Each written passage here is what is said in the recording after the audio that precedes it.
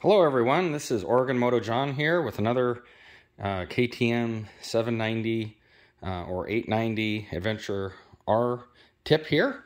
Um, just removing the windshield um, or adjusting the windshield to a higher or lower position. I've heard there's uh, people talk about sometimes there's a lot of screws. Um, well, it's really, it's one screw. Um, all you need is a a T30 here and it's one screw um, kind of at the middle of the windshield. Um, super easy. You just loosen this up.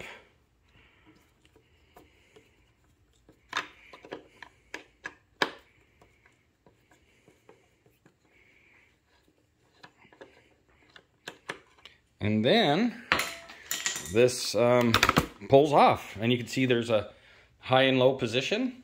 So if you want it in the low position, you put this little um, you know, square area in the low one. If you want the higher one, you put it in the high one and replace the screw.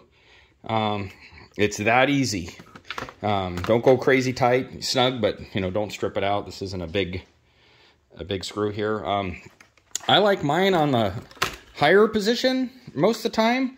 Um, it's what I like to run so that I can, um, you know, get out of the wind buffeting with this little um, wind ex extension here. Um, the spelling of it is P-U-I-G. I think I got the uh, light tint to it.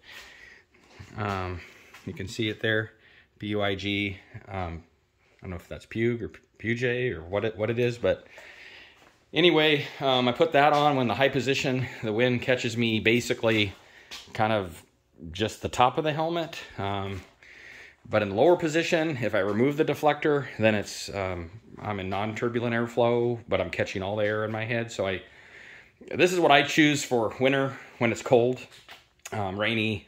It's nice to get out of the weather, but in the summertime, man, I think I'd probably lower lower that down and catch the non-turbulent airflow, uh, if assuming I, wasn't you know going across country or something.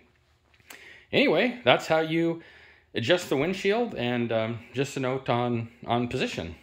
All right. Good luck and have a great day.